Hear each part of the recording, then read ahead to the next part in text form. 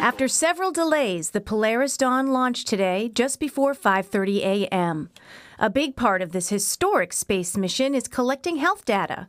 Former astronaut Jay Buckey, now a professor at Dartmouth's Geisel School of Medicine, is part of a team of researchers monitoring the breakdown of bones, which can happen very quickly in zero gravity and lead to kidney stones. And the worst case would be to have a kidney stone in space that doesn't pass. So, uh, so it's really important to try to just keep it from forming in the first place.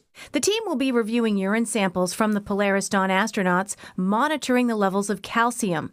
The goal is to empower future space travelers with this information. The key thing is making sure that somebody doesn't develop a kidney stone, and uh, and that's going to be much more important in some of the flights that are coming up, where they're going to be at you know reasonable length, like going to the moon, but they're going to be in small spacecraft, um, so people won't be able to do the kind of exercise program that they're currently doing on the International Space Station.